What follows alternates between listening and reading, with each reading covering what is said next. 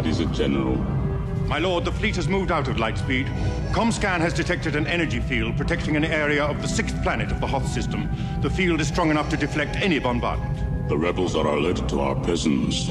Admiral Ozzel came out of Lightspeed too close to the system.